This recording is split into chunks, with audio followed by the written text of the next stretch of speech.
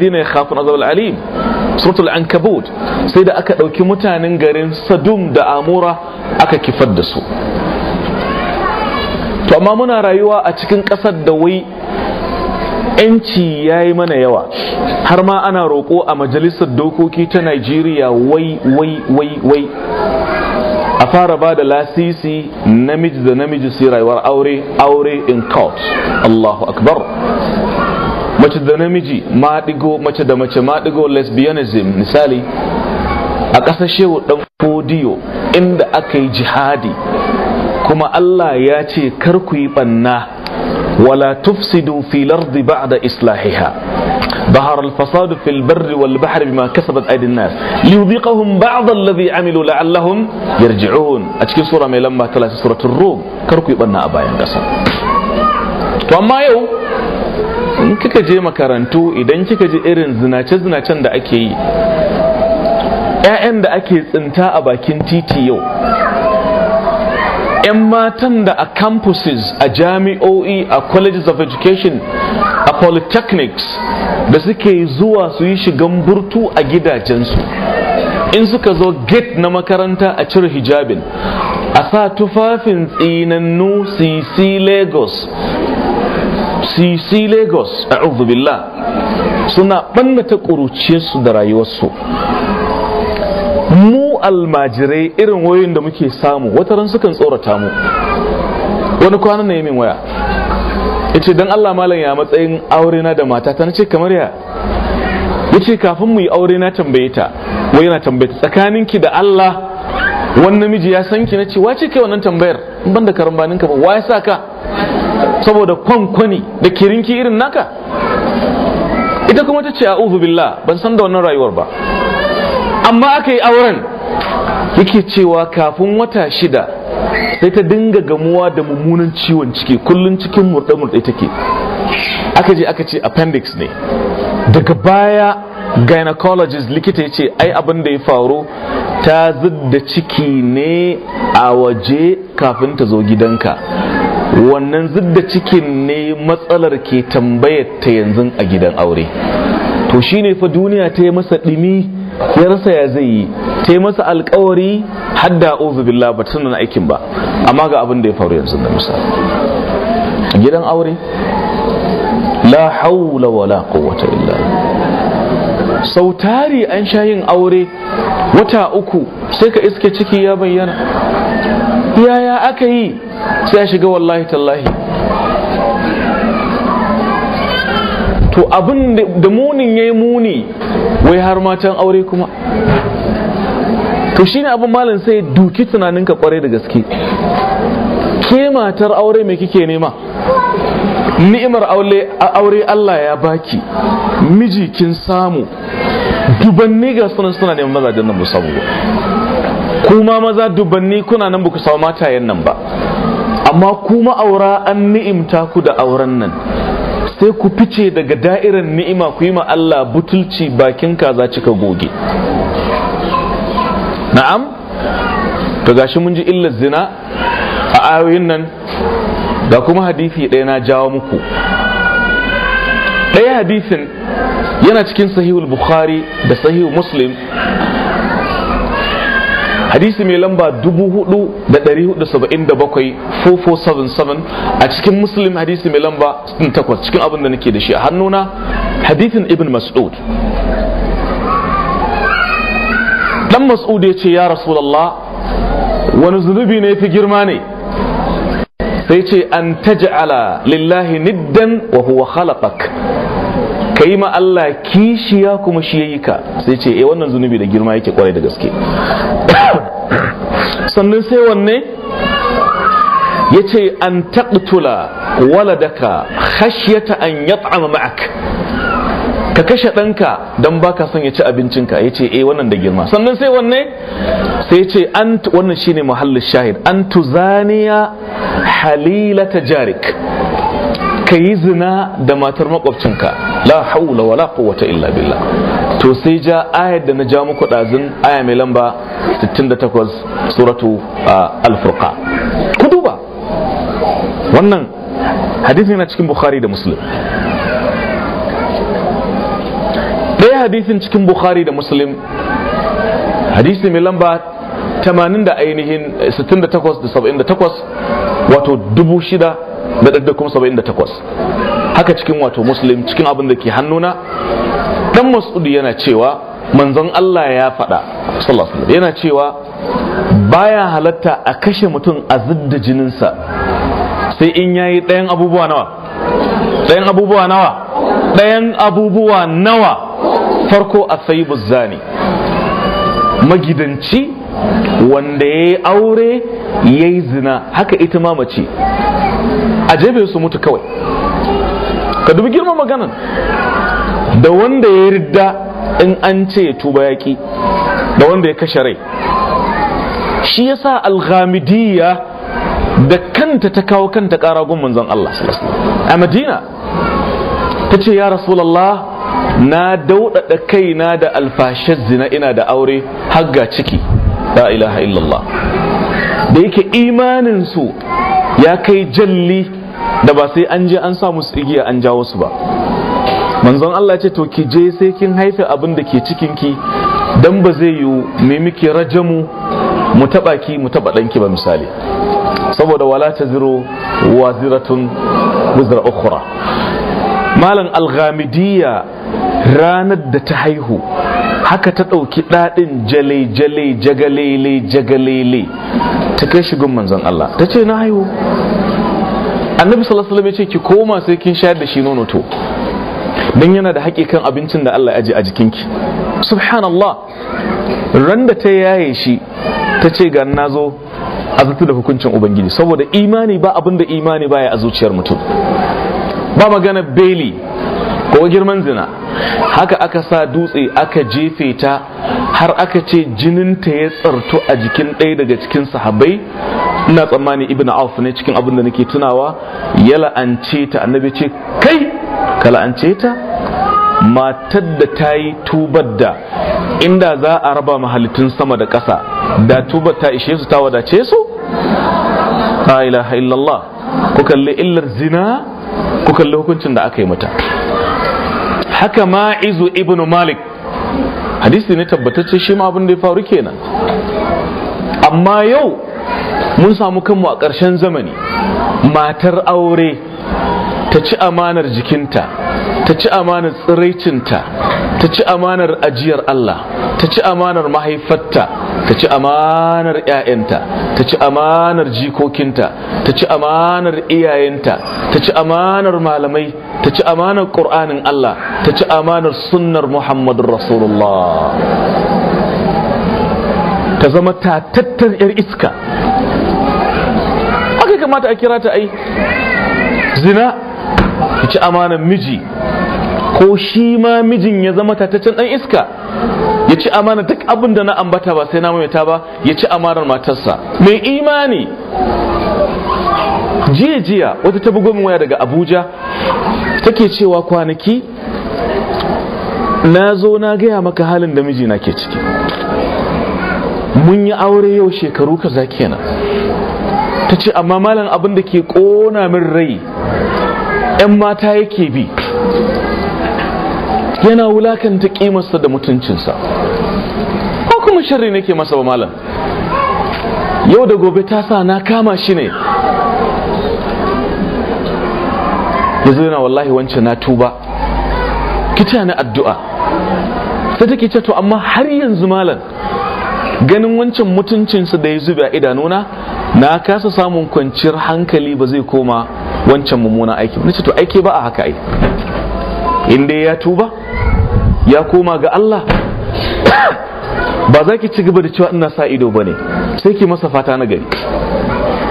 Yan uwa musulmi zina hadarin tana da yawa. A cikin musnad na imamu ahmad bin hanbal ga hadithi tabbatacce wani balaraban ƙauye ya ce ya rasulallah ka yi min izini in yi zina. Annabi ce kai? Saboda ba ƙauye ne. To annabi ce da shi a ba kyau ba. Sai masa tambayoyi saboda hikima irin ta manzon tsira sallallahu alaihi wasallam. Sai masa tambaya guda biyar ku ji tambayoyin. Ta ce kana so a yi da wadda ta haife ka? Ta ce a ba na so. Ce to. To su ma mutane ba sa so a yi da uwayen da suka haife su. Sai ce kana so a yi da yarka sai ce ba na so. Ya ce to su ma mutane in dai masu mutunci ne ba sa so a yi da 'ya'yansu kana so a yi da 'yar uwarka? A ba na so. 'yar uwa uwa ɗai uba ɗai uba ɗai ko uwa da 'yar uwa 'yar uwa ce. Sai ce da sauran mutane su ma ba sa so a yi da 'yan uwansu. Ko ba haka ba? To kana so a yi da ainihin amma wace ce amma? Yar baba ko kanwar baba? Ita ce gwaggo ko ba ita ba ce? To ainihin mutane ba sa son haka. Sai ce to kana so a yi da khala ɗinka wace ce khala? Yar uwa ko kanwar ina? Ita muke cewa inna. Tambaya guda nawa? Ya ce ba na so. Ya ce to duk mutane ba sa so a yi suma da su. So kenan duk wanda ya yi zina to ya yi ne da ɗaya daga cikin waɗannan guda biyar ɗin ga wasu mutane.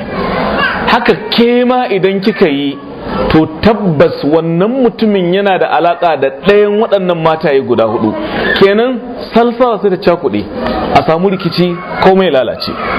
Shi yasa aka ce mazinata in sun yi aure kashe su ake yi domin suna kashe ainihin salsala ne.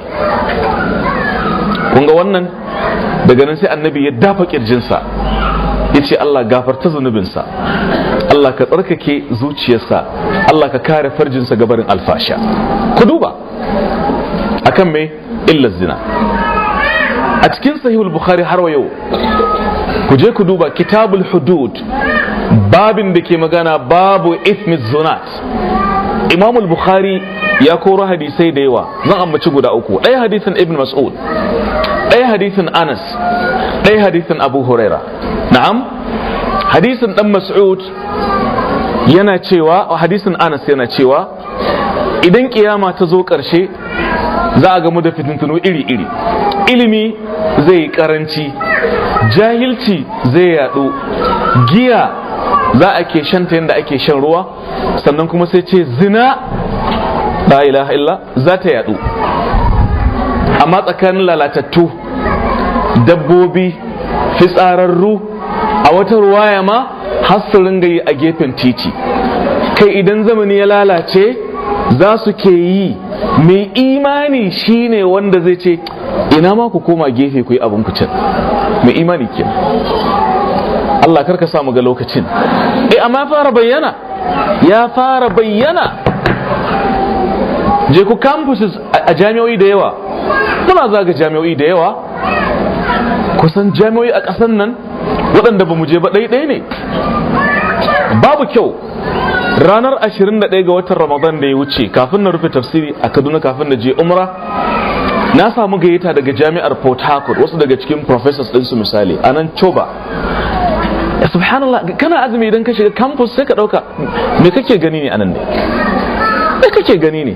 Wai karuwai ne ko ɗalibai ne? Abin da ba za ka gani ba. To wannan ka ce kudu kenan ai. Wasu ɗalibai suna min kuka a jami'ar maiduguri. Abin da ke faruwa da daddare a gindin bishiya a cikin ƙasar musulmi. A je ke biyu mana. Je ka jami'ar mu ta bayaro a kano misali mana. Motocin da ke zuwa suna ɗaukan 'yan mata da yammaci. Na'am ka ɗauko 'yar uwata musulma aisha hali maimuna misali.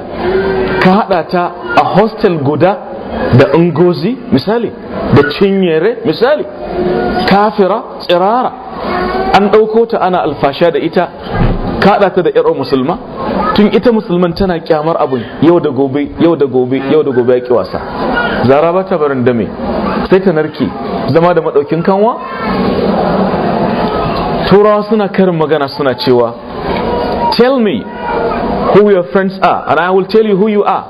Gaya min suwaye abokananka. Tell me who your friends are and I will tell you who you are. Su waye abokananka na gaya ma kowa ya kai. Shi yasa mawaki ke cewa da larabci idza kunta fi qaumin fasahib khiyarahum ولا تسحب الأردى فتردى مع الردي عن المرء لا تسأل وصل عن قرينه فكل قرين بالمقارن يقتدي gayamin idan kana cikin jama'a to ka aboci na kirki saboda kowane mutum na koyi da aboki ne shine ma'anar wannan magana tell me who your friends are and I will tell you who you are gaya min suwaye abokananka na gaya ma kowa ya kai kowa to ku jona hadisi da kyau ya ce ilimi za a ɗage shi jahilci zai yadu giya za ta yadu ga giya na suna shanta? Har ma suna gyara mata suna? Sunan giya a gun mashaya kun san sunanta? Astaghfirullah Allah mun faɗa a ɗakinka saboda ilimi ne ba ɓoye komai ilimi ne. Suna kiranta spiritual consumption. Ah spiritual consumption. Larabawa fasikai suna kiranta mai al-mashrubatur ruhiyya. Wai abin sha na ruhi. Abin da take je mutum a wuta ake gyara mata suna? Ita ma zinan lalatattu suna kiranta wai love making na'am na'am na'am na'am love making karuwa bakar ashana ƙona gari hasarar dangi ballagaza kwatami. Ita ce suke kiranta free woman mace mai zaman kanta. Kuma ko ba a gaya maka illar zina ba takan lalata tsatso. Yanzu misali dukkan ya mace duk iliminta sai aka ce da kai ba ta hanyar aure aka haife ta ba. Sai ka ji jikinka das. Sai ka ji ba za ka aura ba ko? Amma ba laifinta ba ne kuma. Wala tazir waziratun? Amma ai kana kallon tsatso ne ai. Saboda aure ana son a kare tsatso. Duk abin da ake buƙata na yamma tana da shi. Ga hadda ga qur'ani ga waye amma sai aka ce da kai yar gaba da fatiha ce fa amma. Kun san dan gaba da fatiha? Ba aure ba ne. Yar kwararo ce. Laifinta ne? Kuma auren laifi ne? Amma wa zai iya? Sai ka ce to to to Allah kyauta. Daga nan sai zame sai a neme shi a rasa. Haka kai ma kowa ya kai naka ce ba dan aure ba ne shi yasa mutum kimarsa personality na mutum a ce ta aure aka same shi. Jiya na ba da misalin wata mace a program na jiya. Karuwa ce ta zauna ta yi rayuwa ta banza ta samu ɗa namiji. Wanda suka yi wannan mummunan rayuwar aka neme shi sama ƙasa aka rasa. Ɗan da suka haifa yaro ya ɗan taso ya girma ta sa shi a makaranta. To amma yaron sai ga in aka tafi taro na iyaye da malamai PTA kenan ko sai ga uwar sai ta zargele ta je gun taron. Rannan sai yaron ya ce mama ni gaskiya wahalar da kike yi bana so. Na fi son babana ya ringa zuwa gun taron baki ba kina wahala. Domin sauran abokanai na iyayensu maza ke zuwa gun taron. To kaga tsiyar ko? Kaga tonon asiri ya zo ko? Sai ta ce da ainihin dan to ai babanka ya mutu ne. Sai ce to mamu nuna min kabarin sa mana. Kuma ina so in ga danginsa. Saboda yayi wayo. Ta shiga ɗaki ta ga to gaskiya ba yanda za ta yi illa ta gaya masa gaskiya kawai. Sai ta rungume shi. Tana kuka hawaye mai zafin gaske. Ta ce na cuce ka na zalunce ka na ci amanar ka ka ji asalinka. Ya kalle ta ido cike da kwalla ya ce mama shari'a ne da ke sai gaban Allah. Ɗa ya ga uwa haka. Mai ja wannan? Zina?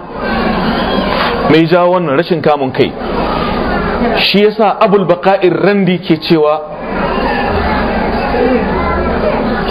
likulli shay'in idza ma tamma nuqsanu fala yugharru bi tibil aishi insanu kada mutum daɗin rayuwa ya ruɗe shi yana cewa man sarrahu zamanun sa'atu azmanu wanda lokaci guda ɗaya na saɓo ya faranta masa rai to lokuta masu yawa na bakin ciki zai bata masa rai. Ga wannan kenan. Sannan kuma yan uwa musulmi kun ji hadisan kenan. Ɗaya hadisin kuma na abu huraira ne yana cikin sahih bukhari annabi yana cewa sallallahu alaihi wa sallam la yazni zani hina yazni wa huwa mumin. Cikin bukhari. Mazinaci lokacin da yake zina to imanin cirewa ake yi. Cap sai a zare imanin. Da ita da shi imanin zarewa ake yi. To matsalar ita ce a lokacin da suke yi kuma aka ce mutuwa ta zofa kenan sun mutu ba su da me? Ba su da me? Wanda ya je lahira ba imani ina kanta? Ya tashi daga aiki. Wannan fudu illa zina ne. Illa zina ce. Ba ma wannan ba idan kika kalli abun ma a duniyance. Ai na ba da misali jiya. Bill clinton ai tsohon shugaban america ne. Da aka same shi ya yi alaka da wata yarinya. Ana kiranta monica lewinsky. Lokacin yana mulki a white house a america. Ita yarinyar ta je tana yin wani abu da ake kira internship. Su america haka suke kira. Mu ana muna kiransa nysc su suna kiransa mai internship misali. Ta je yi makasa hidima ne a fada shugaban america. Sai yarinya ta ji hankalinsa. Shaɗan ya ruɗe shi. Saura kiris a tsige shi. Aka kai shi kotu. Yana gumi yana cewa ya rantse ba abin da ya haɗa shi da wannan yarinya bai zina da ita ba. Ku duba arna fa kenan america. Suna kyamar mazinaci zama shugabansu. Ballantana mu al'umar annabi muhammad. Mu da muke da qur'ani muke da muke da komai. Da kyar ya sha. Kaga inda an gan shi da matarsa ce wacce ake kira wato mrs clinton ta yanzu ministan harkokin waje a gwamnatin obama da babu wanda zai damu da shi don matarsa ce. Ba haka ba ne? Mr gary hart don kusan mun karanta duniyar gwargwadon hali. Shi ita kullum faɗakarwa ka kulla alaƙa tsakanin hadisanka da abin da ake kira realities abin da ke faruwa a zamanin yau. Saboda wani kila baya fahimta sai idan ka nuna masa abin da ke faruwa gafa yadda yake. Gary hart dan siyasa ne dan wata jam'iyya da ake kira democrat a america jam'iyyar su jimmy carter.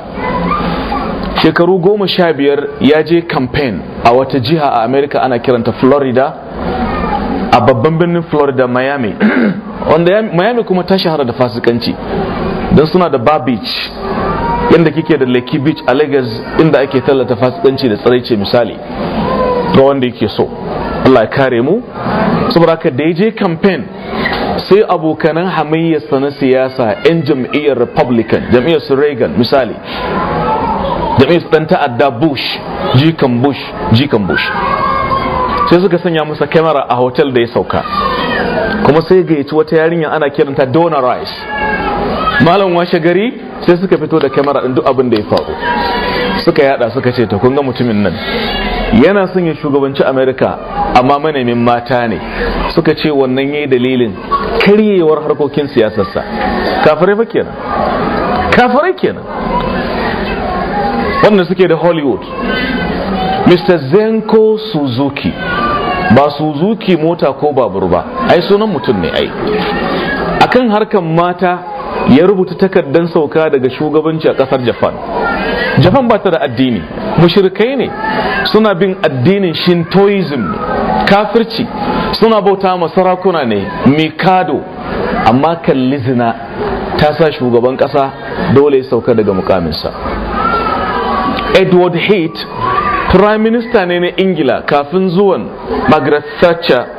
Abin kunya da ya tafka game da harkar mata dole ya sauka ya bar mukaminsa. Misalan da yawa mike tyson dan dambe ne ko da dai namu ne ya musulunta. A shabbas ai alaka aka same shi mara kyau da mace kalli abin da ya faru. Kana da many instances da zaka iya kotun ka ba da misali. Dan ka san arna ma sun san zina ba ta da kyau balantana mu musulmi. Kai tattabari namiji wallahi in yana da matarsa tattabari da tattabara. To idan tattabari aka ce ga matarsa baya nemo tattabara din.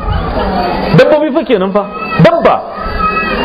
Amma ke ki zama ballagaza ki zama gaja kazama tunkuza mai wari mai ɗoyi ki ci amanar muhammadu rasulullah. Ki ci amanar 'ya'yanki saboda ƙayyar rayuwa. Kina mata aure wai kin zama shuga mommy. To akwai kuma shuga jahannama ai. Yana jiran irin ku. Ko shuga daɗi akwai shuga jahannam. La hawla wala quwwata illa billah. Hasbunallahu ni'mal to amma barin tambaye ku. Ku nake son ku ba da amsa. Domin na yi tambaya me kama da haka ga taron mata watanni uku da suka wuce. Mata ne na west africa suka haɗu daga togo daga ghana daga cote d'ivoire daga nigeria niamey niger suka haɗu a yamai a niger. Yawancin su ba su ma jin hausa larabci tsaba muka gabatar musu da daura. Yani muka karantar da su alha'iya a lokacin. To da muka tattauna matsaloli kan me ke jawo mutuwar aure in kuka ji amsoshinsu abin sai baka sha'awa. To ku ina son tambaye ku. Don Allah a ganin ku menene ke jawo zinace-zinace na 'yan mata da kuma matan aure? Kar ku manta mu. Tamboyi guda huɗu ne. Ba na mance ba ne kuma hadisin na nan. Za mu karisa su. Kuma na son ku haddace. Amma gaba na samu wanda nake maimaita kusan karatun jiya. Kafin na kammala kuma yau juma'a ne kira lokacin babu yalwa. Amma na so ku gaya min a iya fahimtar ku menene ke haifar da waɗannan munanan abubuwa? Kuna da amsa? Kuna da amsa? To ku faɗa mana. Farko me? Na'am? Yaɗuwar tsiraici. Yawwa in dai da yaɗa tsiraici to akwai hura wutar sha'awa. Ku ga hikimar musulunci. Ita ya mace sai aka ce ta rufe jikinta kirif shi ɗa namiji an ce da ya runtsa idanu an ba da wannan umarni ga mace ga namiji fast mace amma sai aka ƙara je ki karanta wannan a cikin aya mai lamba 30 sura mai lamba 24 قل للمؤمنين يغضوا من أبصارهم ويحفظوا فروجهم ذلك أزكى لهم إن الله خبير بما يصنعون إيا أبن دا aya mai lamba ta lasiratun nur. Ga yawa mazaje su rintsa ido. Khalas. In na ga bai kamata ba in ce subhanallah. Khalas. In ne kallo bisa kuskure accidental watch ban da laifi. Amma in ka sake mai da ido intentionally ba da dalili ba kana da laifi. Ke ma haka ne ma haka. Amma ya mace fa ku je aya mai lamba 31 don Allah mu karanta da ku. وقل للمؤمنات يغضضن من أبصارهن ويحفظن فروجهن ولا يبدين إلا ما ظهر منها.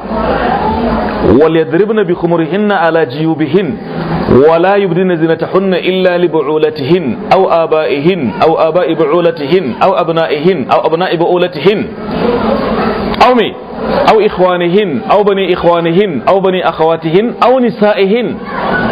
أو ما ملكت أيمانهن أو التابعين غير أولي الإربة من الرجال أو الطفل الذين لم يظهروا على سونا وكينا سونا وكينا شابيو iya waɗannan aka ce ki bayyana ado gare su ki je ki kalli tafsirin da kyau sannan kuma aka ce ki sa hijabi misali karanta aya mai lamba 59 a cikin sura 33 mai Allah ya ce يا أيها النبي قل لأزواجك وبناتك ونساء المؤمنين يدنين عليهن من جلابيهن ذلك أدنى أن يرف فلا يضين وكان الله غفور رحيما haka ƙur'ani ya faɗa ko sannan ki sake karanta aya mai lamba 35 sura 33 inda Allah ya ambaci sifofi guda goma daga ciki ya ambaci mataye masu rufe jikinsu Da sauran ire-irensu. Saboda haka dalili na farko tsiraici. Saboda sanin ƙofa ke sa kwaɗayin shiga ɗaki. Ko? In ba ƙofar fa. Sanin akwai tuwo sai miyawu ya fara taruwa a baki. Za a ci girki. In babu fa. To da haka aka ce mace karki zama fitina.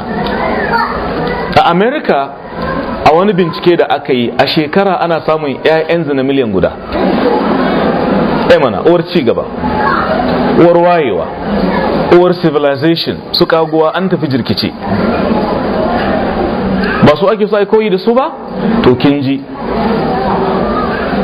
Kuma malamin da ya ba da wannan alkaluma yake cewa cikin mata ɗari da ke haihuwa ta hanyar zinace-zinace kashi uku cikin goma ne suke wannan haihuwa. Sauran suna shan pills saboda hana ɗaukan ciki.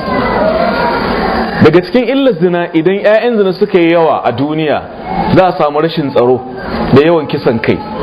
Saboda yaro ya taso bai san uban shi ba sai kan uwa mai kan kan mai uwa da wabi. Shikenan kawai. Kuma abin da ke faruwa kenan? Daga cikin illar zina yaduwar cututtuka da ba a san su ba kamar da cikin hadisin ibnu kathir. Gashi nan akwai aids a yau. Da an ce akwai ciwon sanyi gonorrhea. Aka zo aka ce herpes. Aka zo aka ce syphilis. Yanzu kuma akwai me? Akwai me? Akwai aids. Menene aids? Ku fassara aids. A na nufin me? Acquired i. Immune. D. Deficiency. S. Syndrome. Mu muka ce a ba haka ba ne Allah's inevitable destruction of the sinners. Wannan shine fassarar mu. In kun ce acquired immune deficiency syndrome. Mu ma da namu turancin a Allah's I inevitable D destruction S of the sinners HIV human immunovirus. Ko ba haka ba? Kwayar kare garkuwa. Khalas me ke jawo haka? Suka ce kashi 80 cikin 100 abin da ke kawo AIDS zina ne. Da haka masu cewa in aka zo daurin aure a je a yi test muka ce ba mu yadda ba. Mun yadda ba mu yadda ba. Haka na faɗa ji a DITV mun yadda ba mu yadda ba. Haka na faɗa ko? Me yasa na ce mun yadda? Idan dama ballagazi ne ita ma ballagaza ce. To da ballagazi da ballagaza masu ballagazanci a je a yi musu test na ballagazazzu. Amma mai kamun kai ne shi? Ita ma mai kamun kai ce? Ka yi musu test kana ka zage su ai. Yariya ce mai kamun kai mai mutunci. Ba ma ka ganin fuskarta ba ta kula kowa kowayen nan ba ta da shi. Ta sa gaba rayuwarta kawai ta sa gaba. Neman lahirarta. Ka gwada ta akan me? Wannan ya ce mutunci it's a on her face. Wannan wulakanci ne. Inda an ce kashi 80 zina to ba da san da wannan hanyar ba. Amma da ballagazi kamar da kuka ji da ballagaza eh to shikenan dama hanyar su ce. Na fata kun gane ko? Zina ga ta nan ana yada cewa. Amma ga miyagu suna cewa ku nisanci aure da wuri. Amma ba sa cewa a nisanci zina da wuri. Har posta suke rubutawa avoid early marriage avoid early marriage. To me yasa ba ku cewa avoid early fornication misali.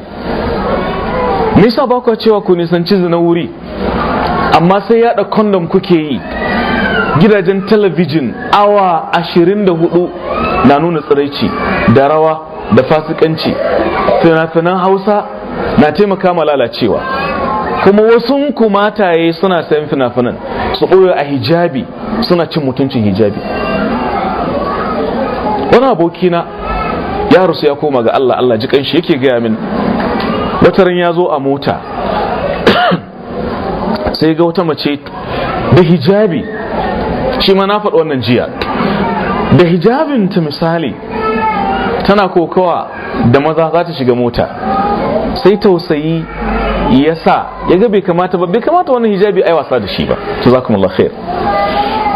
Saboda haka sai me? Sai ya tsaya sai ya buɗe mota ya buɗe abin nan me ake cewa? Kofar baya. Ta shiga dan ya kai ta inda zai kai saboda taimaka mata. Amma da yake yar bado ce a bar ba da yaji yar bado sai ta rufe ƙofar bayan ta buɗe kofarsa sai ta shiga. Malam sai tsorata. Ta ce malama ya haka? Ina zaki? Ta ce duk inda zaka mu tafi. Sai ce a'udhu billah a'udhu billah. Ni na yi haka don taimaka miki ne. Tunda haka kike da Allah ki haƙuri su kake tafi. To wannan wasu ke sake cewa akwai masu sa hijabin ƙarya. Su ci mutuncin matayenmu ƴan uwan su hijabin Allah da annabi sallallahu alaihi wasallam. To dan tsakaninmu da su Allah ya isa. Eh ƙwarai kuwa. Dan mumina ta sa hijabi ta sa niqabi saboda tsoron Allah. Ke kin sa? Har a Saudiya suna wannan tsiyar. Su sa hijabin ƙarya su ga shagon balarabe sun iya galgaliya sai su yi sata a ɓoye a hijabi. Wannan har ya sa wata rana na ji jami'ar awolo da ke ile ife an kori ɗalibai mata wajen guda takwas saboda sun sa niqabi. Ai musulmi. Daga cikin hujjar da jami'a ta bayar wai to ai wasu suna sa wannan ne su ɓoye script mai script? Paper ta jarabawa wanda ƙarya ne. Ana samun fitsararrun mata da ke ce to ai malam hijabin da kuke ce musu ai wasu ma ba na gaskiya ba ne. Ke kisa na gaskiya mana inda gaske kike? Sai su fake da wannan su sabi Allah. To bai kamata haka ya kasance ba. Ɗayan zina miliyan guda fa a shekara guda. To me zai hana? Saboda haka abu na farko kenan kun baɗa dalili tsiraici. Na biyu fa cikin mintunan da suka rage mana. Me ke jawo yawan zinace-zinace musamman na 'yan mata da matan aure? Farko kun ce tsiraici. Kar ku manta a kan magana. Na biyu fa son duniya. Wallahi gaskiya ne. Inda kwaɗayi wulakanci. Su kuda garin kwaɗayi aka halaka. Kina son ki kitson wance baki da gashin kan wance. In ji masu magana. Wance na hawa mota mai kyau tana da kaza kaza. Kullum ta je umra. Ah ki haƙuri mana. In aka ce arzikinki zaki samu ƙarfe goma sha biyu ne sha biyu ba ta yi ba haƙuri mana. In kuma Allah ya rubuta ba za ki samu arzikin nan na duniya ba wallahi in duk ganyen kaduna danginki ne ba za su iya haɗa miki wannan abin ba misali. An ce an taɓa yin wani mutum yana tsakanin mutane guda biyu sai Allah ya sa aka yi ruwa amma ruwa na zinari. Kamar ke ce a kaduna a ce an yi ruwa amma na naira. Ya kika ga gudu? In ba ka yi ba nori ko? Ba malam ba sarki gudu kuwa zai to amma Allah da ikonsa da aka yi ruwan zinarin shi wannan mutumin da ke tsakiya tsakanin makwabta guda biyu duk makwabtan sun samu ruwan zinarin. Shi kuma ko tarfi Allah bai bashi ba. Wa kana amrullahi qadaran maqdura. Sai suka ce ah to ai dan uwanmu ne ya kamata mu taimaka masa. Da karo karo giwa tafi dangi. Sai suka tara masa zinari yafi kowa kuɗi. Sun tara masa zai zauna ya ci duniya da tsinke sai Allah ya kashe shi. To sai mu ga ta faɗi cin na kaka da kyankyaso ya za a yi? Za su masa karo karo rai? Ne uku abin da ke jawo zinace-zinace barin faɗi wannan da kaina saboda ƙarisa hadisan. Ƙima yara aure da wuri. Mu a wurinmu barin tambaye ku a ganinku musamman ya mace a shekara nawa ne ya kamata a yi mata aure? Age wise a shekara nawa? Sha sha biyar. To amma jairai suna cewa kar a yi aure sai an kai shekara sha takwas. Dokar da ake sofa a kawo mana kenan a ƙasan nan. Duk wanda ya aurar da yarsa wai doka za a kafa. Ba ta kai sha takwas ba za a kama shi. To mu Allah ka ba mu 'ya'yan mu aurar a sha biyar ku kama mun. Jairai malam almajiran shaɗan malam.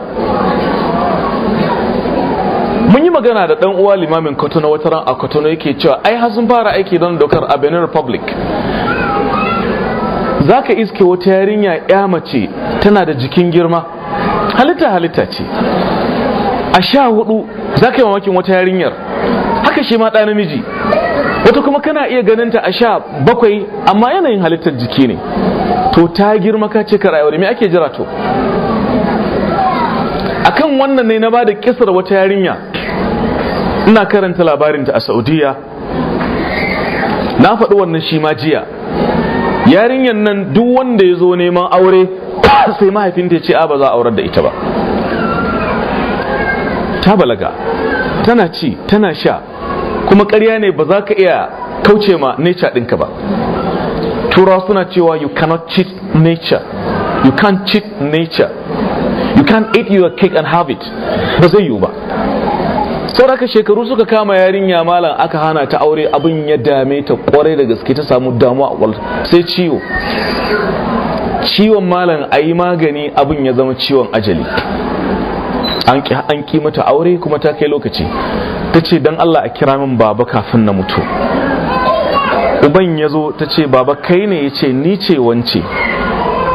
To don Allah ka ce amin. Ya ce amin. Ya ɗauka wani abu za ta gaya mai. Ka ce amin. Ya ce amin. Ɗul amin. Amin ya bunayyati sai ta ce sa'altullah an yi harrimaka aljanna kama haramta ne ni'matar zawaj fatuwafiyar na roki Allah ne baba ya haramta maka aljanna yanda ka haramta min ni'ima aure. Ta kare kenan sai ta mutu. To ga wannan bala'i ne. Ɗaya kuma ita waƙa take rerawa take cewa لقد كنت أرجو أن يقال طبيبة لقد قيل ماذا نالني من مقالها تاكين أوري ستسامي MBBS medicine ta ce shekaruna sun wuce arba'in ban yi aure ba budurwa arba'in ƙarshe dai abu ya lalace mata ta samu kwalin an ce mata likita dr wance ta ce amma burina inda rayuwa ana mai da abubuwan rayuwa baya da akwai rewinding a rayuwa da an mayar na samu ne aure. Dan in ji likita sai in ga mata kowa da ɗanta ta riƙe shi. Ta ce Allahu akbar. Su ne masu tausaya musu. Ni ko tawa ta sai take cewa ina kiran duk wata yarinya ka ta koyi da ni. Ni tawa ta ƙare. Wannan musulma ce. Mrs. Greta Gabo ita kuma wannan kafira ce. Yar fim ce a Hollywood. A 1979 shekarunta 70 79 to a lokacin take cewa wadda bai hudiya ce take cewa ina jan hankali duk wata yarinya ba amerikiya kata koyi da ni. Lokacin ina kuruciya yar fim in na fito the cameras were flashed on my face because of my beauty and youthful age. Haka take faɗi. But now I am over 70 I am gone. Na ƙare na tashi daga aiki na zama ke ƙasa ƙuru. Saboda haka take cewa yanzu bani da ɗa da zai tausaya min. Wannan na gaya muku wannan ne musamman ko matasa 'yan mata masu boko boko boko boko boko. Sai an yi kwali a yi aure. Ina ma Allah da kwalinki. Kin ga idan mutumin kirki ya fito a yi aure. Kun ji ko ba ku ji ba? Kun ji ko ba ku ji ba? Wallahi nasiha nake muku. A daina kwalama da zari da kwaɗayi da hangen hadarin nesa ya sa a yi wanka da bahaya da yake lokaci ya riga ya tafi ba mu kammala hadisin mu ba kuma ga tambayoyi guda ku za ku bani amsa kuma ban manta ba kuma kuna da tambayoyi ku faɗi. Qala rasulullahi sallallahu alaihi wa sallam. لا تزول قدم عبد يوم القيامة حتى يسأل عن أربع عن شبابه فيما أبلاه وعن عمره فيما أفناه وعن ماله من أين اكتسبه وفيما أنفقه وعن علمه ماذا عمل فيه رواه الترمذي عن أبي برزة الأسلمي to tambaya ta farko kenan game da ƙuruciya ƙarƙashin wannan gaban ne muka yi dogon bayani kan zina saboda yawanci masu sha'awarta a lokacin ƙuruciya suke yi ko To tambaya ta biyu ranar kiyama za a tambaye ka ne akan wato rayuwarka. Me kika yi mutuwa ta same ki? Wata tana kan sujuda mutuwa za ta same ta. Allah ka ba mu sa'a. Wani yana kan karatun ƙur'ani wata naƙuda ta kashe ta. Wani yana cikin sallah. Za a kashe shi. Allah ji kan Jafar. Wata kamar wajen naƙuda kamar da na faɗa.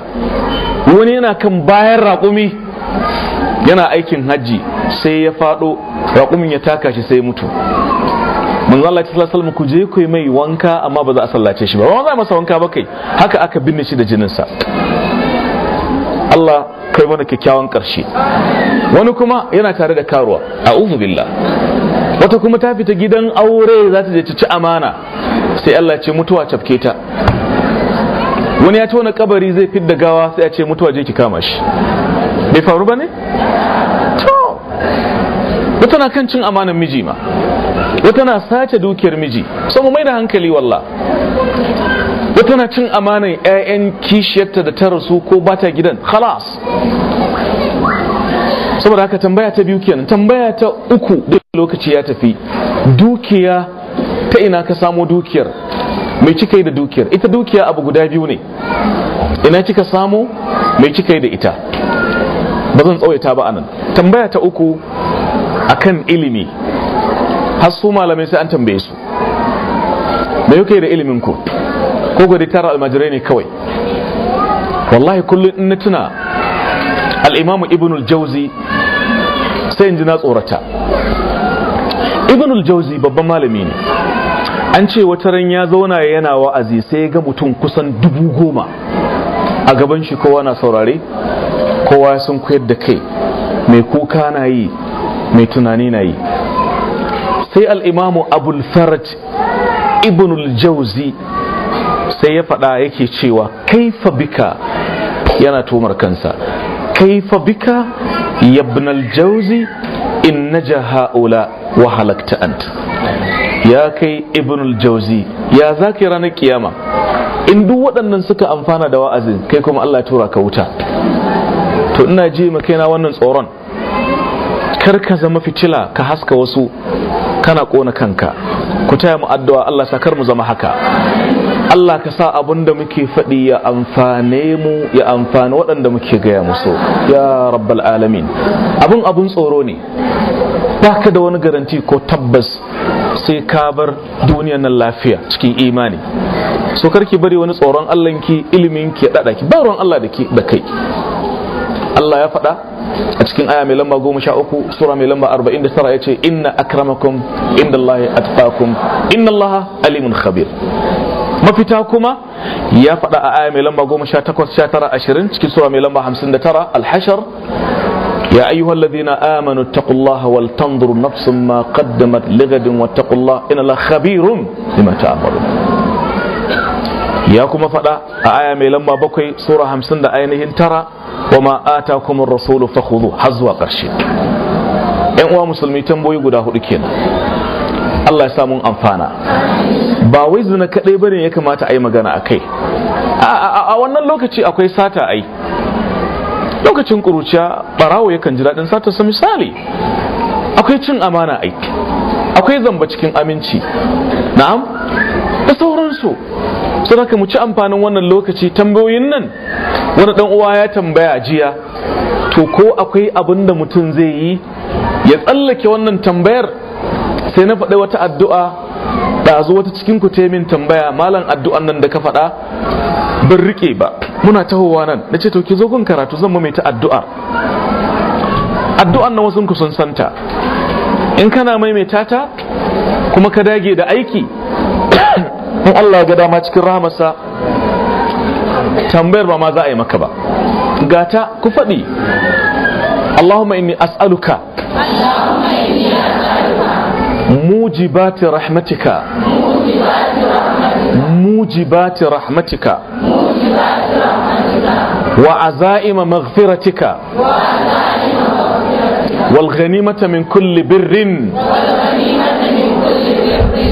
والسلامة من كل إثم. والفوز بالجنة. والنجاة من النار. ما تبتا أكون سنعدو أنه wannan addu'a idan kika kalle ta da kyau critically kika fahimci ma'anarta kika kiyaye a to da yaddan Allah laifin ba ma zaki ba ai. Saboda hadisin muslim hadisin abu qatada manzon Allah ya faɗa sallallahu alaihi wasallam cewa misali azumin arfa da muka yi wannan azumin yana kankare zunubin shekara da ta wuce da shekarar da za ta zo. Ba ma yi ba tukun. Sai malami suka ce ya za a yi a gafarta zunubin da ba suka ce eh abin da ake nufi sai Allah ma ya hana ka zunubin. To zai hana ka ne ta irin waɗannan addu'o'in. Ku sake karanta ta. Allahumma inna nas'aluka mujibati rahmatika mujibati rahmatika wa azaima maghfiratika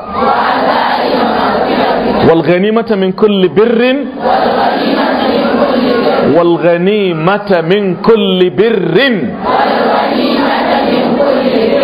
والسلامة من كل إثم. والفوز بالجنة. والنجاة من النار. وأنا مجلس كما تيسأيا أسأل الله رب العالمين أن إياكم. أما كافم هكا إنا أمسا تنبوينا. تفرقوا إنا أمسا.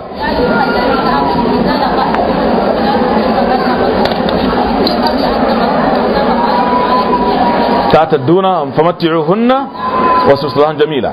Allah ya saka miki da alkhairi. Ta ba da amsa. Allah ya faɗa a cikin suratu al-ahzab.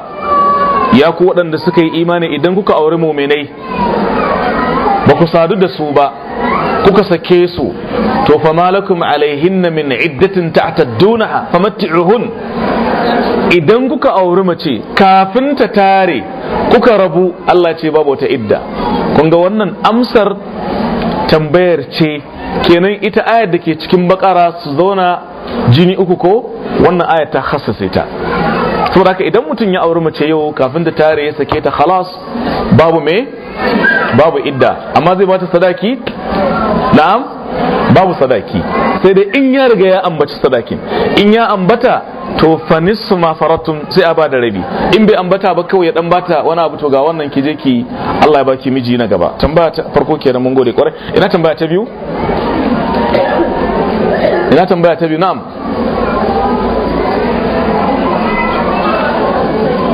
Ai biki daga murya baiwar Allah. Daga murya. Zaki ba da? Ta ƙarshe to bismillah. Na'am. eh ke ce kika ga kawar kika ce wallahi wance ce ashe ba ita bace ya zaki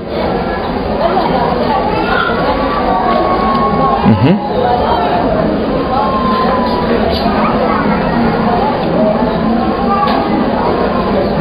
الأحزاب ne wannan ayar لا يؤاخذكم الله باللغو في أيمانكم ولكن يؤاخذكم الأحزاب ne Amma ta yi ƙoƙari dan ta ba mu aya ai Allah baya kama ku. Na'am. Suratu hud. Na'am. Nuh. Alhamdulillah Allah ta'ala ya saka malam da alkhairi kuma kamar yadda ya buƙaci addu'o'inmu so abin da kila taƙaice za mu ce Allah ta'ala ya sanya sakamakon waɗannan kalmomi su ne jannatin wa nahar fi maka'adi sidikin inda malikin muqtadir. Allah ta'ala ya amintar da malam daga dukkan abin da yake tsoro duniya da lahira. Kuma Allah ya sada shi da dukkan dangin ni'ima ta duniya da lahira baki ɗaya a kafin mu shiga tambayoyi akwai wani al'amari mai muhimmancin gaske da ya kamata mu dan magana a kansa?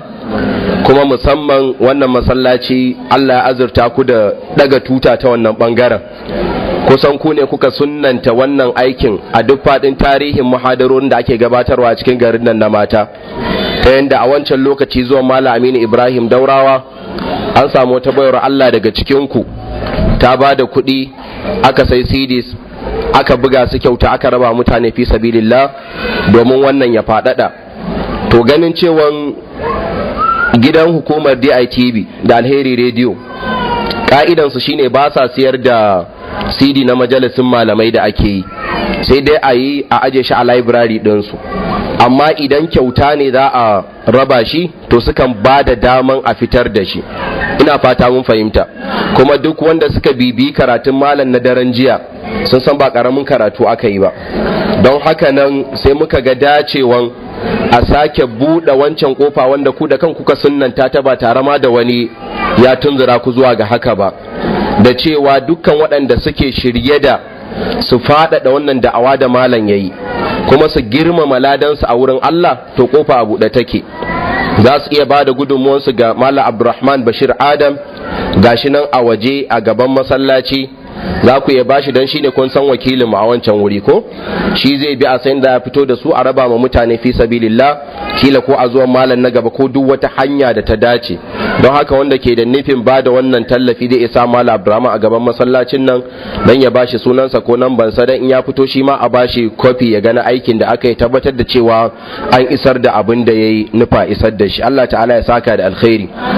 A gaskiya inda mun san irin tambayoyin da za ku rubuto kenan to da mun roƙi malam tun farkon karatun ne zama tambayoyi zalla aka karanta malam ya ba da amsoshinsu.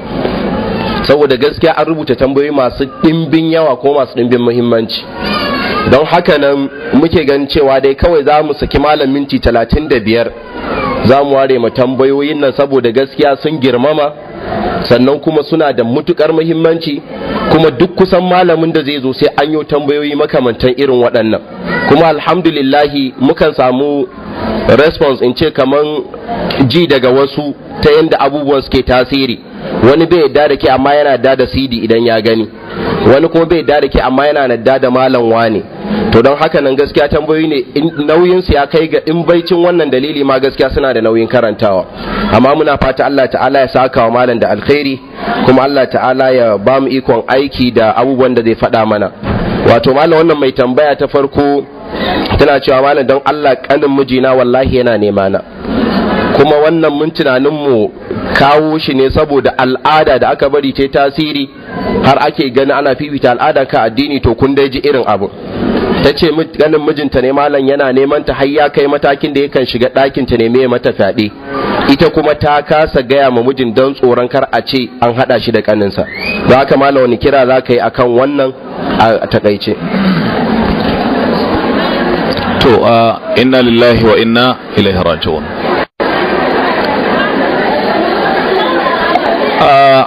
Kun gane ko al'ada shari'ar musulunci ba ta kyamaci al'ada ba idan al'adar ba mummuna ba ce. Amma ku kun sani a ƙasar hausa akwai wata mummunar al'ada ta wasan ƙanin mai sai mutum ya auri mace ita matar ta ringa ce da ƙanin mijinta mai gidan mai gidan ko mijin mijin mijin. Har ma ya iya shiga ɗakinta su yi hira. To wannan maguzanci ne bal kafirci ne. Domin duk abu wanda yake na sabo to shi sabo dan uwan kafirci ne. Inda an karanta musulunci da kyau za a ga haramun ne kai ba ma kanin mijinki ba. Wan baban mijinki ko kanin baban mijinki ba a yarda ya kaɗaita da ke ba. Barin tambaye ku idan wan babanka ya saki mace ya halatta ka aure ta? Na tambayar ku ya halatta mana? Wan babanka kenan an ka zai saki mata ka aura? Zai mutu ka auri matarsa? To wannan ma ba a yadda ya kaɗaita da mata ballanta na kanin miji? To kun ga ai tsiyar kenan ai. An kai ga yana subhana neman ta matar wansa. To kaga za a yi abin kunya kenan. Kiran da muke yi wannan baya halatta ki ɓoye don munkari ne. Manya ya kamata a gaya musu iyayen mijin in suna raye uwa da uba da dattawa kowa. To ba gaskiya gafa abin da kyau. Ba zan ƙyale ba kar a ce na hada ku da a'a ni ba mai ja fitina ba ne amma babban fitinar da za ta fi wannan in yi shirkan munkari. Kunji kunji kunji ga abin da ke faruwa. Ku shiga tsakanin mu sannan ke da kike da ainin kanin miji in kika ba da fuska yana matar ke ma kina eye mijin. To kin ba da ƙofa sai ki ce a'udhu billah. Wannan ai maguzanci ne. An riga an yi karatu an gane kar in saki ji ka saki haka. Ba kai nake aure ba wanka nake aure. Kar ka saki ba ni ba kai. Khalas. Sai dangantakar da ke tsakanta musulunci kawai. Ko me za a faɗa ai ba mai son dangi a ana son dangi a addinance ne ba a maguzance ba in ta kama. Look ba a yin shirkan banna. Shirkan banna shi ita kanta banna ce. Tsoraka muna fata Allah ya kiyaye mai kuma tsare mu.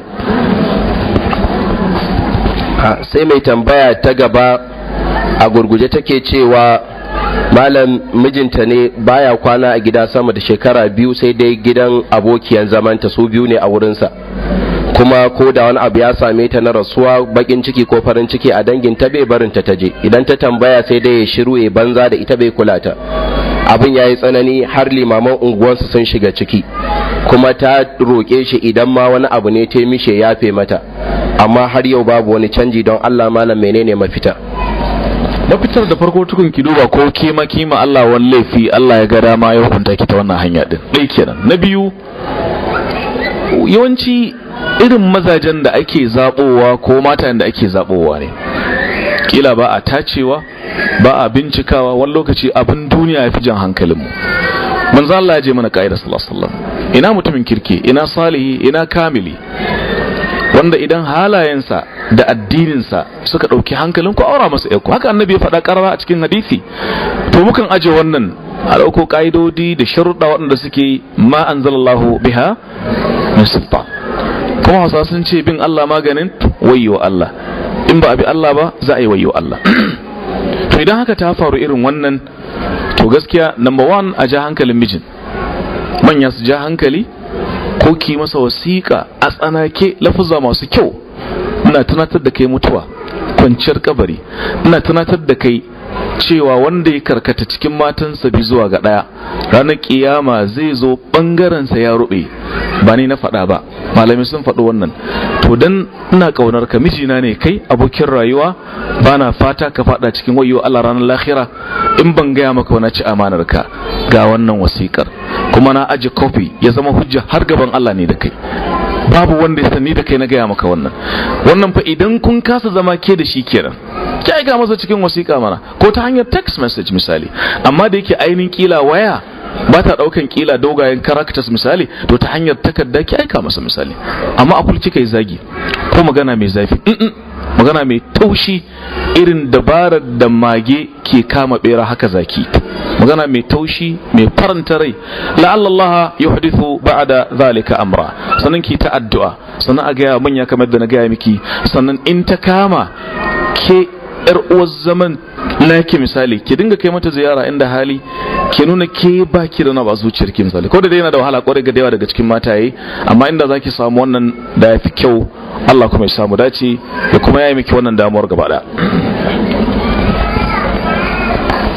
a tambaya ta gaba kusan ta fito ne ta ɓangaren maza wanda suke gaskiya mun aminta da su a addinance musamman suka yi take keniya tun da kasuwanni da sauran suka zo suka ce tunda muhadara ce ta mata suna roƙon don Allah malam da ya kira akan wannan musiba da ke faruwa musamman su da suke da sana'a a kasuwa. Da kuma gidaje suke gani yake faruwa dangane da wani irin hijabi da mata yanzu suke dinkawa. Za ka ga an yi shi da hannuwa amma jikin sai ya din yanda yana nuna jikin mace sama da ma wata wanda ba hijabi ta sanya ba. Sannan kuma akwai hijabai. Ku saurara mana. Sannan kuma akwai hijabai waɗanda akan yi su masu awayen zaga da ado a jikinsa. Kuma yakan kwanta ya matsa jikin mace fitar da dai wurare na fitintunu suke roƙon da Allah malam ya kira ga 'yan uwa mata tun da an samu nasaba na wannan din. Sani ina ganin an riga an kira ai daga bayananka da karatun su ma daga martanin da kaga suka fara nunawa yanzu ya nuna cewa an fahimci inda saƙon ya dosa. Shi wannan hijabi ana kiransa tayani gantali. Tayani shiririta. Tayani bin shedan. Akwai hijabin rahman akwai hijabin shaitan.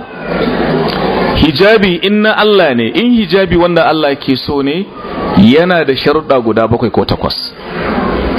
Farko ya zamanto daga sama haƙar har ma ya ja ƙasa daidai taƙi ɗaya. A cikin hadisin ummu sallama cikin abin da nake tunawa. Ɗaya kenan. Na biyu ya zamanto mai faɗi ne burme mai ta yadda zaki saki jiki ki wataya a ciki. Sannan kare zamanto mai ɗame jiki ne. Shine almushift. Kare zamanto mai huji-huji perforated. Kare zamanto kuma akwai turare a jikinsa. Kare zamanto kayan kyalkyalkyalkyal ne. Kare zamanto kuma ɗan ado ne ɗan zamani kawai. ‘yan uwa mata ku sani in mutum na neman ya haɗu da Allah lami lafiya sai ya haƙura da ɓacin rai. Ka saba ma abin da rai ke so ka gamu da Allah lami lafiya. Ka bi abin da rai ke so ka gamu da ɓacin rai. Larabawa kan ce man fa'ala ma sha'a laqiya ma sa'a. Man fa'ala ma sha'a laqiya ma sa'a. Wanda ya aikata ma sha abin da yake so laqiya ma sa'a. Zai gamu da abin da ba shi da kyau. Hijabin nan mutunci ne gare ki. Kamala ce. Kamewa ne. Duk matan arna sun san muhimmancin hijabi sai dai su ki kawai misali. Tsoraka dan girman Allah tsoraci Allah. Hijabi mai irin wannan sifofi da kuka ji aka ambata wallahi ba Allah ake bi ba. Shedan ake so a faranta masa rai shi kuma shedan farin cikin sa kawai sai ya ganka auta Allah ya mu. Mai tambaya ta gaba tana cewa malam ina da saurayi da yake nema na? A duk lokacin da ya zo hashe ɗaya kai mu ga muna yin wasan banza da shi amma ba ma yin zina. Sannan kuma duk lokacin da muka yi wannan nukan koma gida cikin damuwa in rinka kuka ina zubar da hawaye. Kuma yakan ɗauki kusan wata ɗaya bai zo ba amma a duk lokacin da ya zo da ya kira ni sai in ga na fito na kuma ba shi goyon baya akan wannan. Don haka nan don Allah ina ta roƙon Allah ina kuka akan haka kuma ban sani ba ko akwai wata addu'a da malam zai iya bani domin kubuta daga wannan yanayi da nake ciki. Ai addu'a kawai kiki babbar addu'a kenan. Babbar addu'a ki ce shi dan naki akwai lokacin da ba ba ma so kai addu'a ai. Akwai lokacin da in ji kai addu'a sai ma Allah ya azabta ki. Ki ce eh zan baki misali. Yanzu bari baki misali. Ke ce kina jin yunwa? Ga tuwo a gabanki. Ga hannu Allah ya baki. Sai kuma ki fidda sallaya kina ya Allah ina son jina koshi ne kawai. Wannan bai kamata a bulalai ki ba? Ana rashin hankali ne ai. To shine irin wannan misalin. Ka je inda ake sayar da mai filling station. Kana da kuɗi. Kuma gashi ana ba da man nan. Amma ka fara addu'a innaka ala kulli shay'in qadir. Wace addu'a ce wannan? Ka fidda kuɗi kawai abin da ake so kiya ka ki yin karatu baka zuwa classroom baka assignment sannan kana addu'a kana son ka ci jarabawa. Wannan shi muke nufi da wannan addu'a ma sai a dake ka akai misali. Abin da nake nufi kenan. In ba haka ba addu'a ita ce kan gaba ai. Na faɗa jiya ban sani ko na kawo shi ba cewa in aka zo neman aure akwai abu huɗu yaushe ne ne? Zuwa yaushe ne ne? Na faɗa jiya? Kuma menene a ina ne? Abinda muke nufi da wannan yaushe ne ne mutum zai zo neman auren? Yake uwa inda kin tsara ma kanki lokaci da la'asar zai zo ko bayan azahar ko bayan magariba ido na ganin ido ai da baki wannan shedancin ba ai. Ɗaya kenan. Na biyu a ina ne ana ganin ku? Inda a farfajiya ne ko a falo ko inda mahaifinki na gittawa? Idan mahaifan na da imani sosai ko kujerarsa ya kawo kusa da ke zai ci a ba haka shari'a ta ce ba.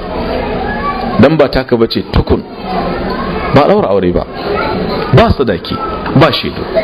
Saboda haka yaushe ne ne za a je taɗin? Na biyu zuwa yaushe ne ne? Dududu kare wuce minti talatin. Inda ke ba wani irin kidahumi ba ne balidi in dai magana baki ne ba talla ba ne ba advertisement ba ne kawai to ya isa ka je ka tallata kan gare ta. Minti talatin ya isa ai. Idan ko kila kana ganin sai an ɗauki awa guda to shikenan amma dai ya zamanto a sa lokaci. Amma a ce an ji taɗi ƙarfe ɗan dare ka san ba daidai ba ne. Na uku a ina ne? Na faɗi wannan. To kaga a ina ne shine maganin wannan abin da kika faɗa. Na huɗu menene za a tattauna? Saboda haka ni ina baki shawara. Daga yau ki tuba daga wannan laifin. Karki yadda ki saki kuma ya kamata in iyayenki suka gani su yi fada da yayyinki. Kafin su yi miki fada ki makanki fada saboda karki yadda ki mutu a wannan halin. Cewa wai kuna kaza kaza ba ku zina to ai kun yi kanwa zina ai. An yi kanin zina ai. Yo rage? Malamai sun ce dama matakan zina farko kallo sha'awa magana taɓe-taɓe sai iskanci. Da an yi taɓe-taɓe din me rage kuma to a'a. In kaga kare na san sana takalmi. To sanin asali ya same kare cin alli. To ai duk kun san ai.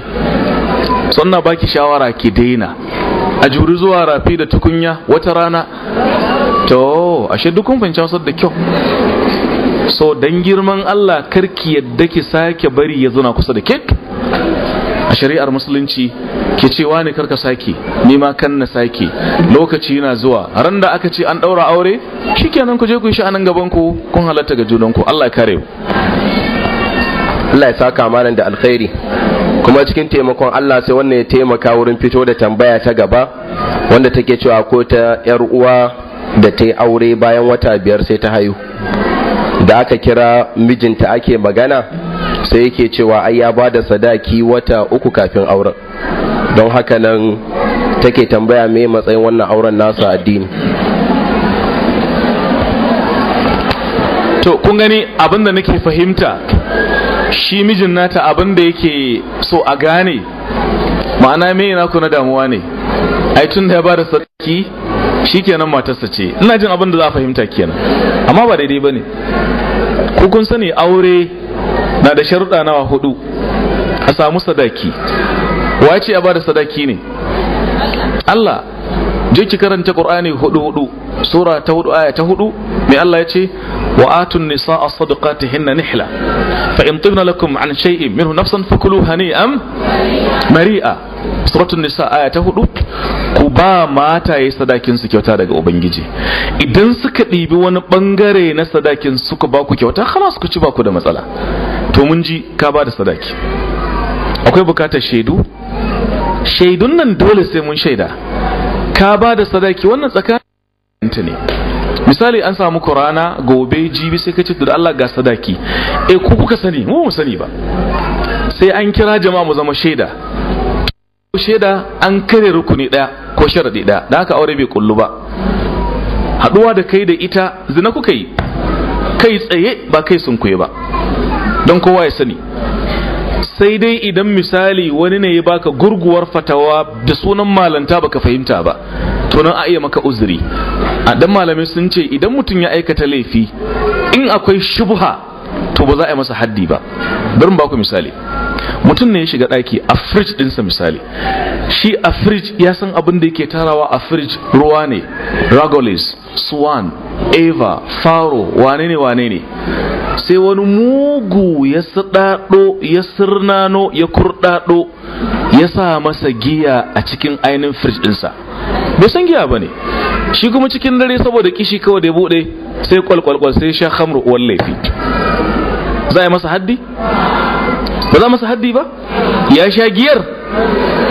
To madalla bai sani ba.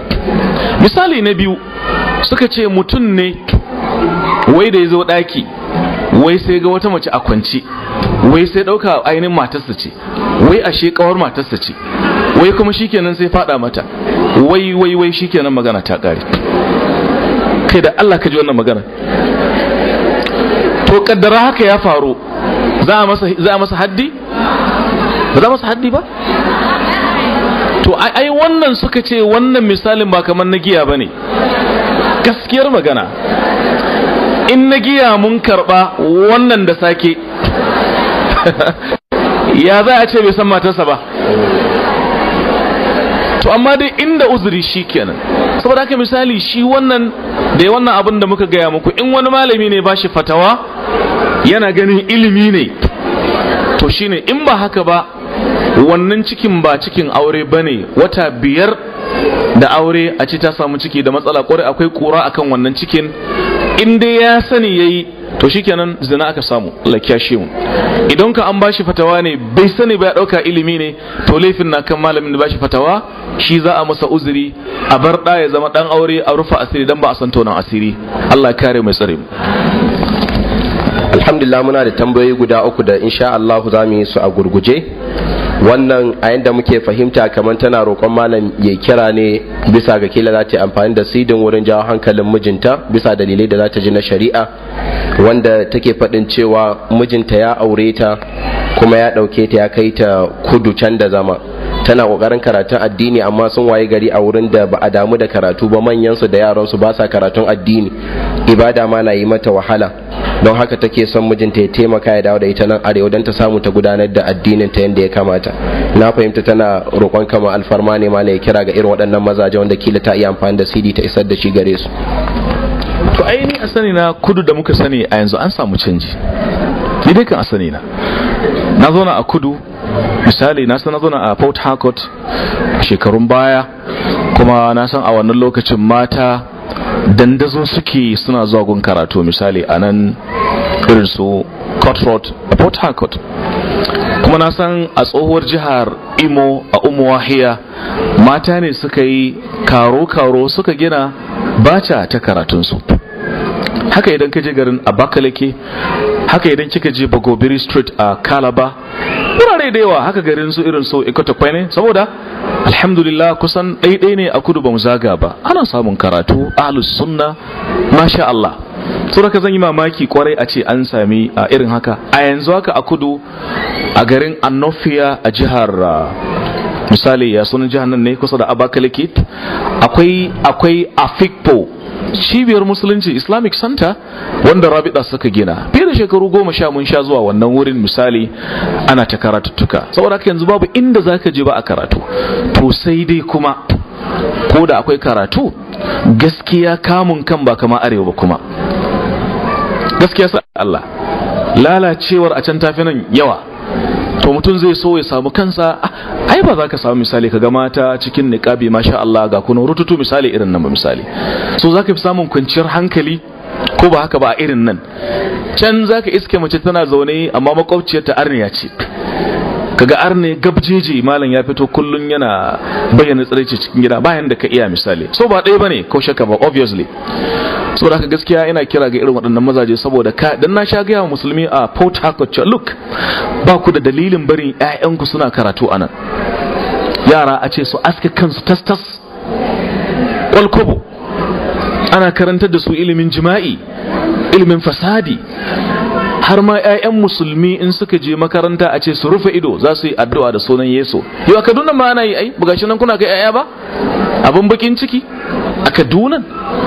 Ka iske makaranta 70% 'ya'yan musulmi ne amma makarantar ta pasto ce?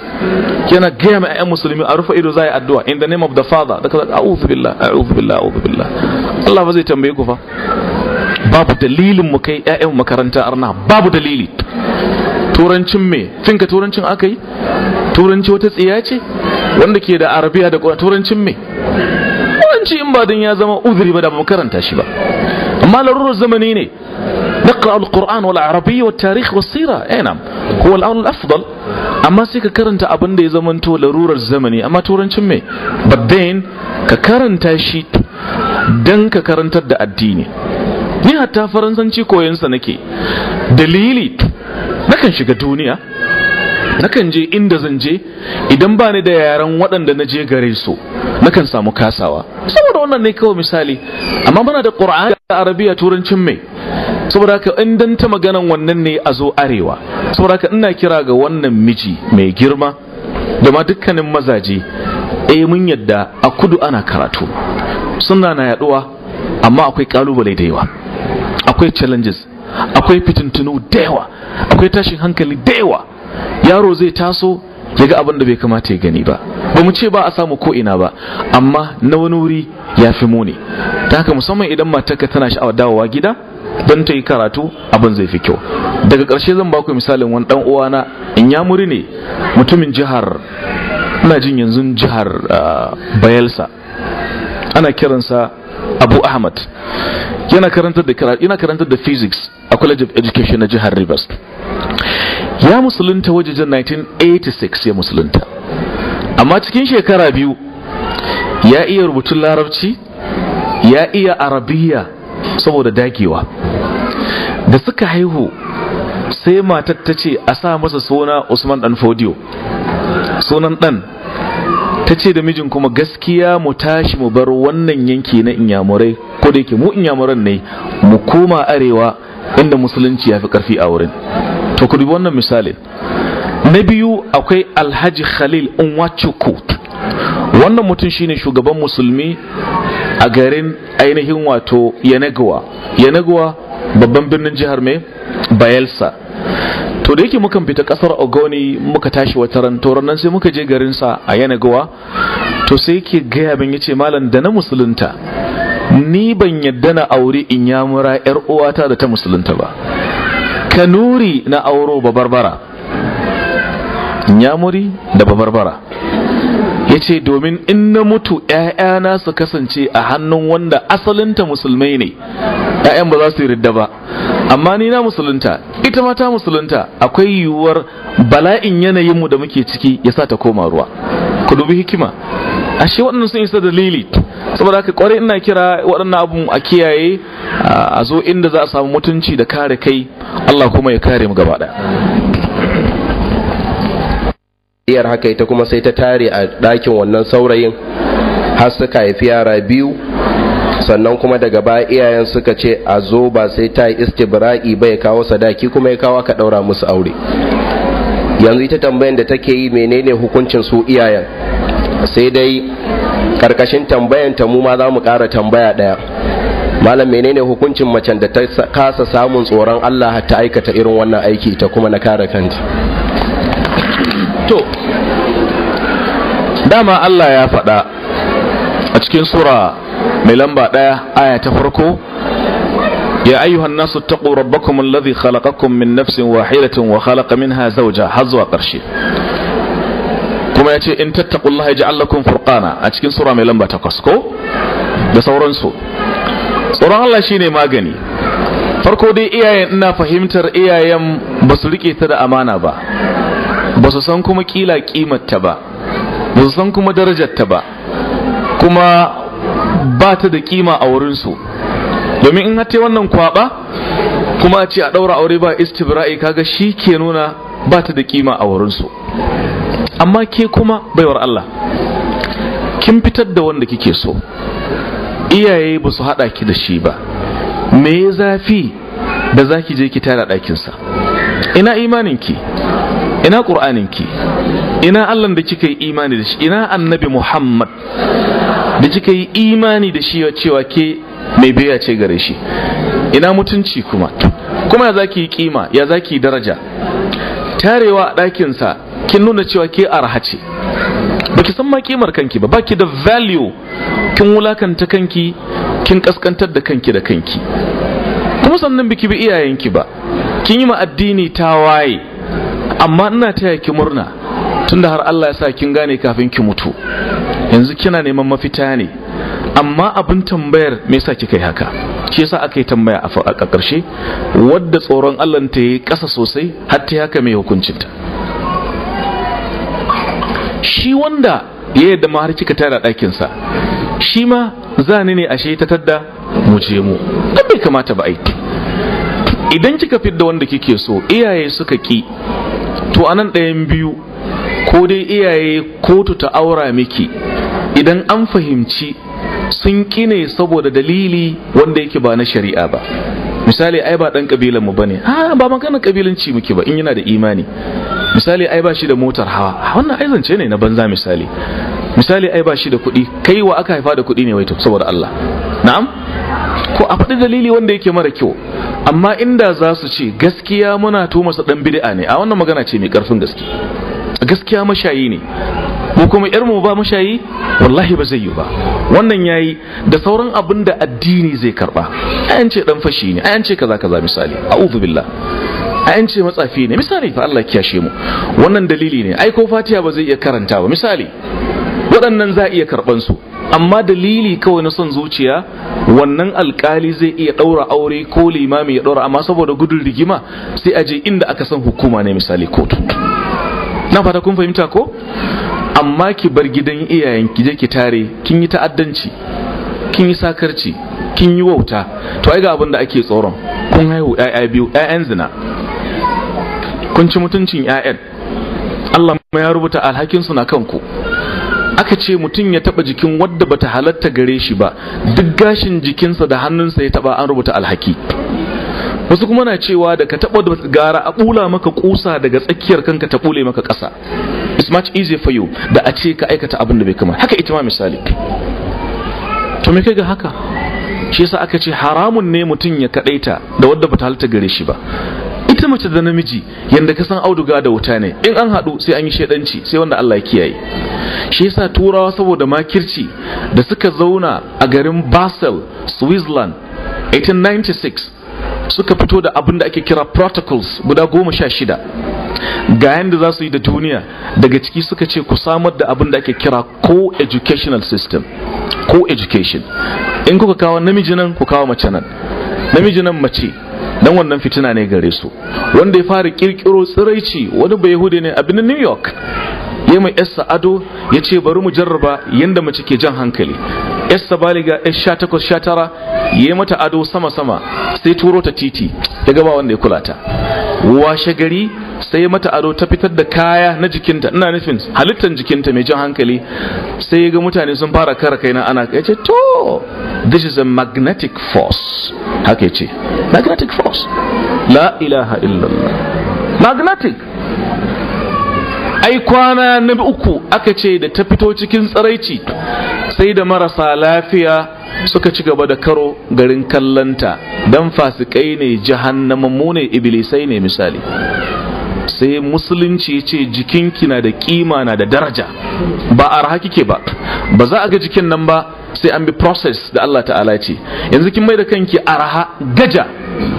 Kin zauna da ainihin saurayi har kun haihu araha ba zai ganki da kima ba ko an daura aure din ya san baki da daraja. Sannan ga sabon Allah sannan ga rashin bin iyaye. Amma maganar iyaye su a daura aure babu istibra'i wannan ba daidai ba ne alkali ya ce ba a yadda ba. Ta yi istibra'in an kare sana daura aure shi ya fi a daura auren da a bari ku ci gaba da zama cikin banna muna fata Allah cikin rahamarsa da iyawarsa da kaɗaitin zatinsa ya kare mu daga abin kunya ya tsare mu daga ayyuka na asha sau yare da ta haka ta sabi Allah kuma ta kauce mu sunna Allah ya tsare mu ya kare mu. Kasantuwar mun riga mun alkawarin cewa tambayoyi biyu ne ne sa wannan din insha Allah sai mu yi ta ko da a taƙaice. Malam wannan tana cewa assalamu alaikum ni dai malam ina neman mafita ne. Mazaje biyu sun fito nema na amma ni dai na fi ganewa wanda kullum idan ya zo sai ya ce ki dai roki Allah ya zaba miki wanda ya fi alkhairi. Su kuma iyayena sun fi son ɗayan wanda a kullum shi kuma idan ya zo ba hiran da yake mun face ta duniya. Na haka nan don Allah ina neman mafita ban san wani shawara mallan kila zai bayar ba ko kira zai ga iyaye. Yau ai fili ke ai. Ni na gani ai magana a fili take. Annabi ya ce idza atakum man tardawna dinahu wa khuluquhu fazawwiju wanda duk kuka amince da addininsa da mutuncinsa in ya fito neman auren ya ku aura mai. Wanda zai dinga ce da ke Allah da wanda zai miki hirar duniya ai na ganin a fili ke ko? Saboda Allah barin tambaye ku wa ya fi kamata ta aura? A fili ke ai amma mai hirar duniya ha إنما الحياة الدنيا لعب ولهو وزينة وتفاخر بينكم وتكاثر لا لا لا كمثل غيث أعجبكم نباتا saboda haka shirme ne kawai mawaƙi na cewa halid duniya wa ma fiha jami'an siwa dhillin yadhulu ma'an nahari faqanituha sari'u dha'ni anha wa in kana al-haritha ala thawa'i duniya mai gushewa ce an gane ko saboda haka ya kamata a kiyaye.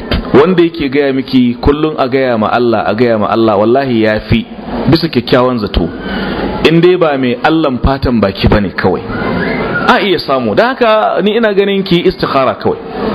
Ki ba Allah zabi amma a zahiri wanda ke cewa Allah Allah ai ya fi kusa da daidai ko? Amma mai magana duniya duniya duniya to gaskiya ƙarshen alewa menene? Ƙasa. To bai kamata ba. Allah kuma ya miki za'i mafi alkhairi. Ya sa ki sami nagari salihi wanda ba za a cizon yatsa ba ba za a yi nadama ba. Allah sa dace. A cikin yan gabobi kaɗan da suka rage mana mu kammala wannan zama cikin yardan Allah akwai abin da ya shafi ɓangaren CDs ga bayan Allah da suke ɗauka don za ku iya tuntuban su domin ku ji ranar da kila za su fitar. Ga waɗanda suke ko lamban wayansu ne za su baku sai dai ku ga dai waɗanda suke nan mun barku da su. Sai dai ga waɗanda kila sukan ba da uzuri suna nesa ko makamantan wannan sukan roƙa duk lokacin da ya fito a ije musu ko kuma a kai musu ko kuma sukan je su amsa. Zan ba da wasu lambobi a ƙarshe wanda sai a ɗauka insha Allah watan za ku kira in kuma ya fito zai a san da za a yi isar da shi zuwa gare ku. Akan kallahu akwai tambayoyi masu tarin yawa da aka rubuto ana neman addu'a sosai a ciki wanda ke nuna damuwa da ake ciki gaskiya na rayuwa. Sai dai daga ciki waɗanda suka fi kowanne yawa da nauyi. Na farkonsu akwai wanda take faɗin Allah ya masarkinta rasuwa jiyan nan tana roƙon don Allah sa cikin addu'a. Akwai ta bayar Allah da kanta kuma ta kawo tambayan take cewa Allah ya jarabe ta da yawan zuban jini ne. Don haka take roƙon don Allah sanya ta cikin addu'a. Sai tambayan da tafi kowanne mai maituwa kusan su ne rabin takadduma da suka zo hannu. Ana roƙon mazaje na gari Allah ta'ala ya ba su maza na ƙwarai don haka na wanda kuma za su yi tafiya duk dai suna nan muna so malam ya tattare su gaba ɗaya. La Allah a sa su cikin addu'a sai mu je gaba ta gaba insha Allah. To da farko dai wadda Allah ya sa ta rashin surukinta suruki ta ce ko? To muna fata Allah ya ji kanshi. Likulli ajalin kitab. Kullu nafsin dha'iqatul maut. Wa innama tuwaffawna ujurakum yawmal qiyamah. Mutuwa za ta zo kan kowa. Saboda muna fata Allah ya ji kanshi ya gafarta mai ya sa ya huta ya albarkaci bayansa. In ta mu ta zo Allah ya sa mu cika da imani. Mai maganar zuban jini malamai suna kiransa na dam. Don ina ba da shawara a je a ga likita mana ko? Babu laifi a ga likita amma likita mace. Shi yasa kullum muke ta magana ya zama dole mata su je su karanta medicine a yau su karanta wannan filin dan mu sami saukin a ce namiji ya tsare ta ya mace bisa larura. Zai fi kyau in mace ta ga yar uwarta mace ya fi tsafta. Amma bisa larura dole a ga likita. Allah kuma ya baki lafiya. Amma dangane da addu'a addu'o'i na da yawa ai. Misali shi qur'ani ai waraka ne. Wa nunazzilu min alqur'ani ma huwa shifaa'un wa rahmatun lil mu'minin wa la yazidu adh-dhalimin illa khasara kamar da ke cikin aya mai lamba 82 sura ta 17 cikin sul isra. Da sauransu misali. Kin ga annabi zakariya da ya tashi roƙon Allah da yake qur'ani magani ne da ya roki Allah sai Allah ya biya masa buƙata kamar da ke cikin aya mai lamba 89 90 wa zakariya inna rabbahu rabbi la tadarni fardan wa anta khal warisin sai Allah ta'ala amsa masa. Dan haka ina baki shawara ki dinga karanta tun daga aya ta 19 zuwa ta 20 a cikin sura ta 59 insha Allah magani ne yau da gobe Allah ya samu dace. Suratul hashr.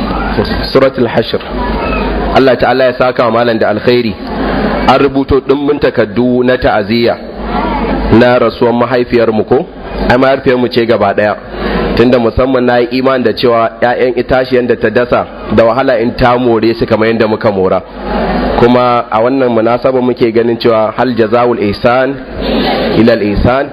Tunda mu mun roƙi malam yayi mana addu'o'i na bukatunmu don haka mu ma a nan na ga sai mu ce nas'alullaha bi annahu bi anna nas'alullaha bi asma'ihi al-husna wa nas'aluhu bi annahu al-ahad as-samad alladhi lam yalid wa lam yulad ولم يكن له كفوا أحد أن يغفر لها ويرحمها اللهم اغفر لها وارحمها واعف عنها وأكرم نزلها ووسع مدخلها واغسلها بالماء والثلج والبرد اللهم نقها من الذنوب والخطايا كما ينقى الثوب الأبيض من الدنس اللهم نور قبرها اللهم اجعل قبرها روضة من رياض الجنة اللهم إن كانت من المحسنين فزد في إحسانها وإن كانت من المسيئين فتجاوز عن سيئاتها إنك أنت الغفور الرحيم اللهم باعد بينها وبين خطاياها كما باعدت بين المشرق والمغرب اللهم اجعلها من عبادك الذين يدخلون الجنة يرزقون فيها بغير حساب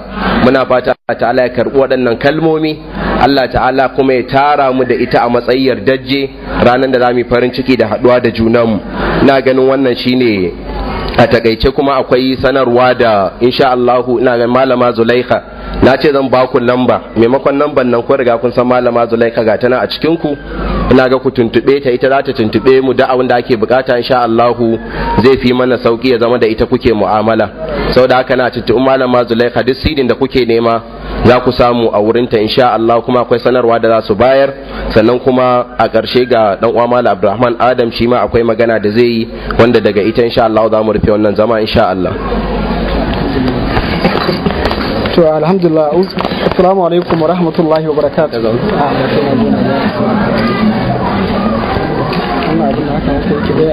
Eh to abin da ya kamata na yi na farko shine addu'a. To malam umar ya ya riga ni yayi addu'a akan rasuwar mahaifiyar malam. Gaskiyan magana malam ya riƙe mutanen kaduna matsayin kusan kamar